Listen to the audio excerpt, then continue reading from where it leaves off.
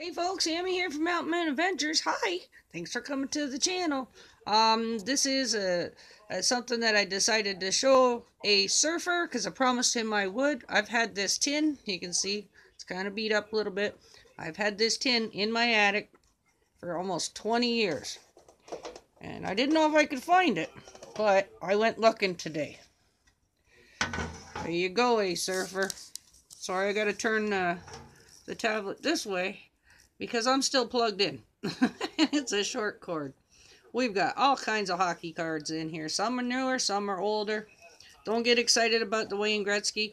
I knew that one was in the top when I peeked earlier, so checked it out. It's only worth $1.50. It's not a big deal. It's not one of the good ones. The good one is 1979, one of his rookie cards. And apparently that sold at auction for $3.7 million. So when I saw that, I come, whoa, I'm checking that one out. That's this one right here.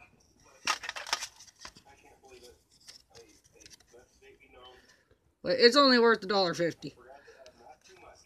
So I'm going to sort these into their stacks. They should still be pretty good. They were stored flat. So, and then we'll go through and we'll see what we got. And then you can pick a team and I'll show you all the ones that I got.